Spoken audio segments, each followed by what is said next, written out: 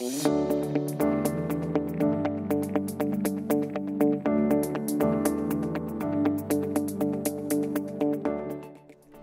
everyone, and welcome to Sparkcast Episode 3. My name is Gina Phillips. I will be hosting today, and I am joined by two very special guests. Now, before I get into this, I just want to say if you haven't listened to Episode 1 or 2, stop what you're doing listen to those then check back in with us okay? Because these this is a great series and we don't want you to miss anything so uh, I want to talk quickly about the Spark magazine, dubbed EN3. Uh, it's we've got a fall issue, and we're looking at the leaders, uh, major players in the industry, like Oshawa Power and Utilities Corp, to cutting edge startups. The issue also zeroes in on how Eastern Ontario gives these critical sectors a boost. But also, there's tips for energy proofing your home this winter, a local chef feature, basically people to watch. So make sure to visit thesparkmagazine.ca to subscribe subscribe for your free print and or digital copy. Okay, let's get going on today's episode. So, we're going to be talking about the Durham Regional Technology Development Site, aka Durham RTDS, because that is just easier to say. And we are talking to two very special people Sherry Colbourne, President and CEO of Spark Center. Hello, Sherry. Hello, Gina. How are you doing today? Very good. Excellent. And to your left is Chris Gillis, Manager of Applied Research Business Development at Durham College. Hi, Chris. Hi, Gina, and thanks for having me. Yeah, it's fun to be here in person, live right here at the Spark Center in downtown Oshawa. What a great building we have here. It's a bit of a sleeper, but yes, it's awesome. and back face to face. Yeah. We're getting there. Yeah, no, it feels good. It's a very vibrant energy here, which I really like. Yeah, absolutely.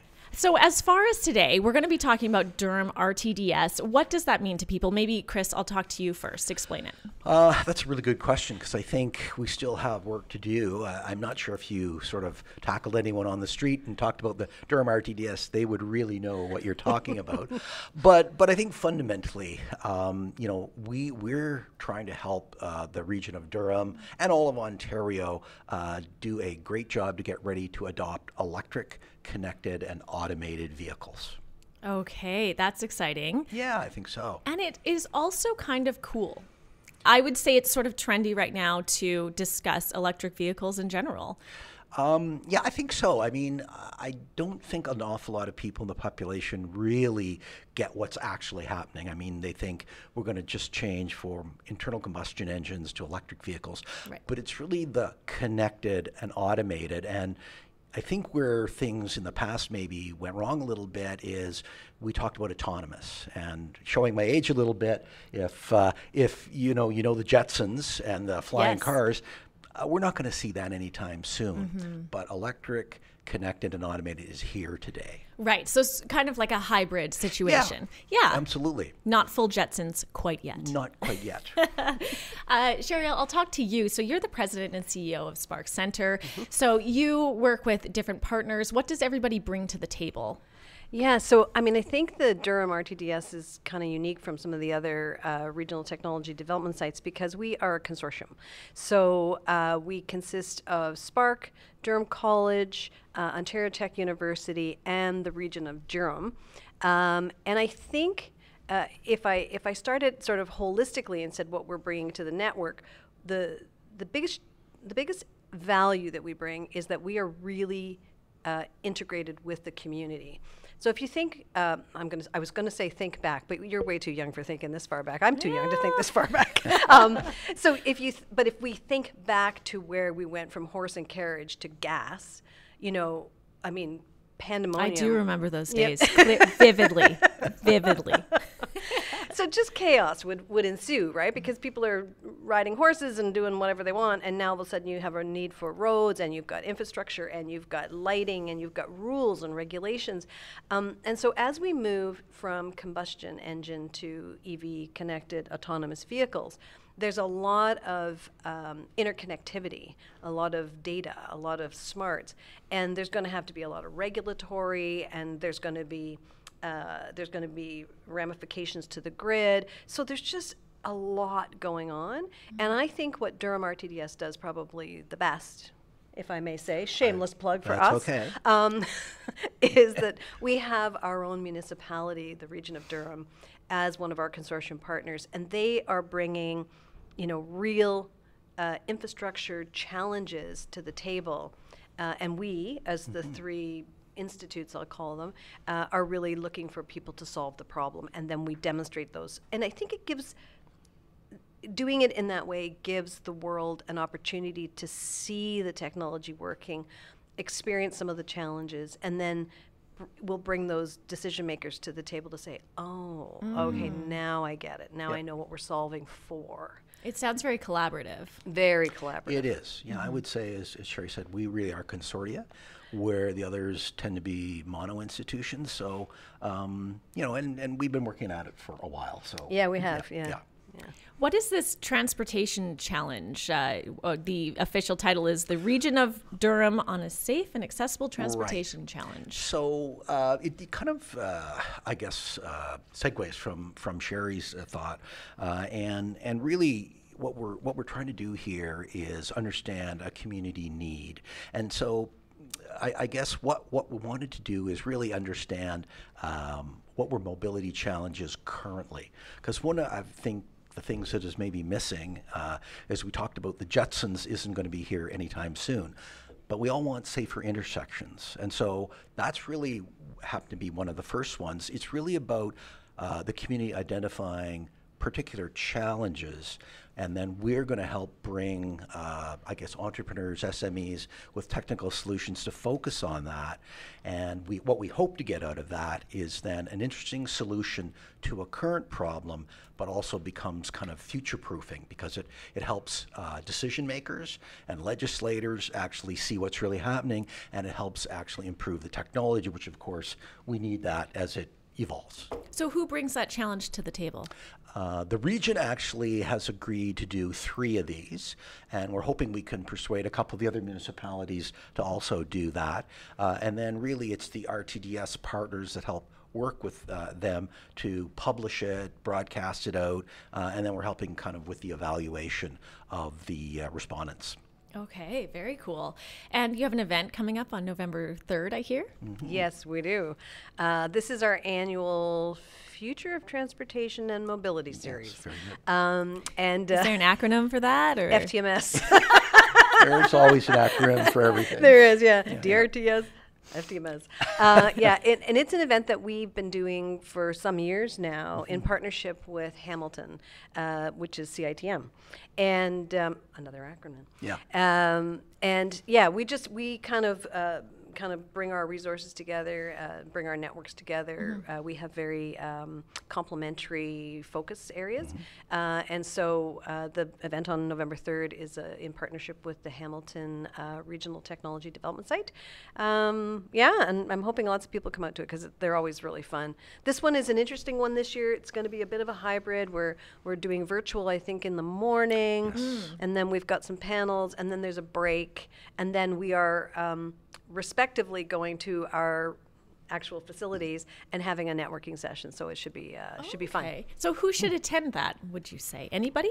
Uh, I would say startups, uh, Okay. government, um, economic development, transportation people, academic institutes, test facility people. any companies, medium-sized companies that have sort of technology in this space or are looking to partner maybe with companies that Yeah. have uh, technology in this space. Um, yeah, we're just looking to put all this And maybe together. our regulators and our politicians, you know, people that are going to be instrumental in building the rules and the the governance around Mm-hmm. how this is going to function. I mean, I think it's wonderful for them to come and hear firsthand what you know, The what's new coming. king, the, n- perhaps? the new king.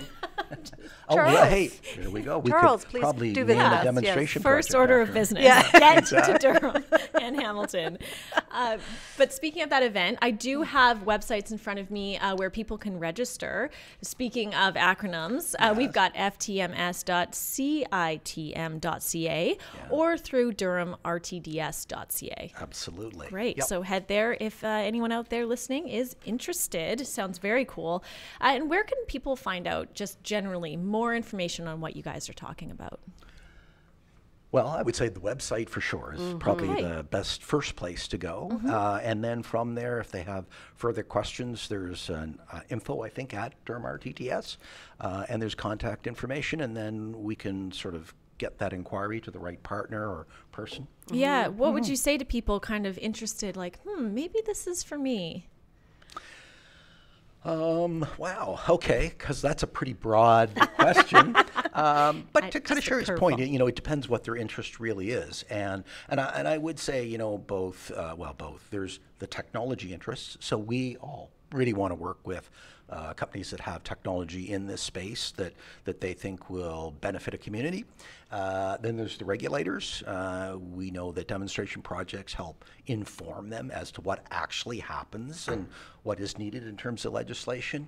Um, and I would say to uh, those who want to maybe help educate the general public. Uh, I, I think the public really needs to understand this better. Uh, it's not just electric. It's sustainable. It's Yeah. it's a whole lot of other things. It's our future. Cybersecurity. Well, yeah, I, it's funny. I was talking to someone the, this morning, and I remember when we had the Whitby Shuttle project. Yeah, And we did a project. public event on a Saturday for them to see it, and I, I watched a father with his two daughters. One was probably about five, and the other about eight. And I took a picture of it, and I think the post I put out was, you know, these kids are going to grow up, and, and when the youngest reaches that age, she may never ever need to drive. Who knows, you know? Wow. So crazy to think about, but uh, but very exciting, and I think can be hopeful, right? I think so. I think so. I mean, uh, a lot of young people, and well, not even so young people, need to think You're about. referring to me. no, no. Don't look at me like that. I resembled that remark. okay, there we go. Uh, be careful of that. Yeah. Uh, but but it's going to change job Mm-hmm. opportunities, job prospects. So depending on where you are in that Mm-hmm. whole uh, sort of journey, um, you know, and it's going to do it fairly quickly. I would say in the next two to five years. It's, it's starting right now. Like I think of I think of my grandson. So I am an, a shameless EV driver, um, and uh, uh, you know love love love driving my Tesla. Awesome. and but my Pretty grand cool looking Tesla. it's a nice. little- Yeah, I, it's a I nice can Tesla, picture you yeah. in a Tesla. Yeah. I see that for you. and my uh, my grandson though is nine, so you know his his folks drive ice cars, uh, but grandma Nana drives an EV, Wow. and he has completely bought in to the Kool Aid, as I like to mm-hmm. call it. I mm. mean, he always always says we'll, we'll be somewhere and he'll see a car and he'll say Nana. Bad for Mother Nature Yeah. Wow. right so i mean he's already processing it mm-hmm. like to that level of like that's not He good for it. mother nature your car is good for mother nature so um, yeah i think there's a whole generation of kids that are going to Well, you know, they're grow so, up on that Kool-Aid They're quick right? to adapt, whereas Absolutely. we're just still kind of in the mud of it. Yeah, mentally, absolutely. Right? Yeah, exactly. good way to put it yeah, and, and we need to see what's kind of coming. And just one cute little story, if I can. Um, you know, when you when you talk to a lot of the big organizations about electric connected, they talk about zero accidents, zero emissions, and zero congestion. Um, and so, just if you think forward to what zero accidents actually means, uh, that's about a million people a year on the planet that are alive that didn't die in traffic accidents. So that's a good thing. A lot of that will be sort of connectivity, technology, and jobs. But one of the interesting things uh, that we found out somewhere is that uh, somewhere between 40 and 60 percent of organ donations for organ donating programs come from vehicle fatalities. So potentially there could be a shortfall Oh, in that area. So interesting, all the side effects Well, of, of this, right? Think of auto Mm-hmm. insurance, emergency rooms, all of this. And then down at uh, an event in Toronto pre COVID, I remember hearing a company that said it had a 3D kidney printed that is suitable for human transplant. So, how, where did that all go sideways? yeah yeah You know? yeah Wow, yeah. just new technologies popping up to even counter this shift. Exactly. Yes. And that's just kind of one example Yeah. of how so many things are going to go sideways with this. yeah yeah yeah That's Fascinating interesting. stuff. Thank you for breaking it all down for me, Sherry and Chris. This has been awesome. Thank you for. I, I mean, this is my t- first time hosting the Sparkcast. I hope that I come back to do more because I feel like I'm learning as I'm listening to you guys. So, everybody, listen to Sparkcast episode one and two if you haven't already. It's brought to you by Spark Center.